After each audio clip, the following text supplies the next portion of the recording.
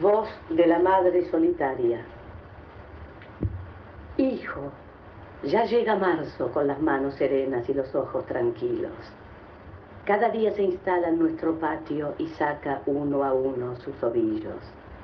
Artesano en silencios, teje hermosos tapices, dorados, naranjas, amarillos, mientras la brisa tibia juega haciendo arabescos de luz en las cortinas.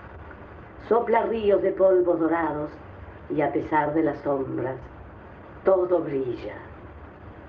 Las horas usan velos y hay días que se ahogan las difusas nieblas del recuerdo. Hay largos y afilados corredores oscuros.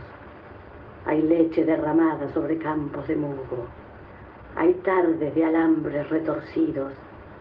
Hay verdes islas tragadas por abismos. A veces me parece que me ganó el olvido. No recuerdo siquiera la tarde en que debiste despedirte, la ciudad donde has ido. Y hay tardes de alambre retorcido y hay verdes islas tragadas por abismos.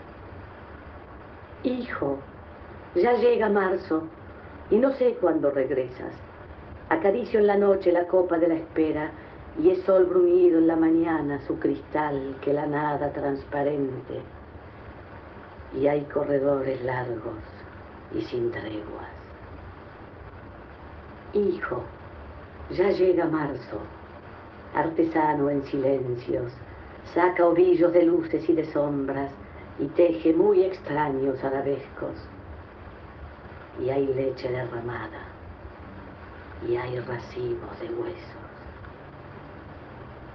Pero no, no es posible. ¿Quién podría atreverse? Si yo anidé tu risa de xilofón travieso, si alimenté tus manos de abecedario en vuelo, ¿quién podría atreverse? Si te vi una mañana convertido en sendero, venciendo las espinas, las serpientes, los hielos, ¿quién podría atreverse? ¿Quién podría echar sal en tu canto y ocultar con espejos de madera tu sonrisa y tu llanto? O aprisionar tu cuerpo bien amado con oscuras serpentinas de barro? ¿Quién podría, si yo te di la vida, quién podría atreverse? ¿Quién podría?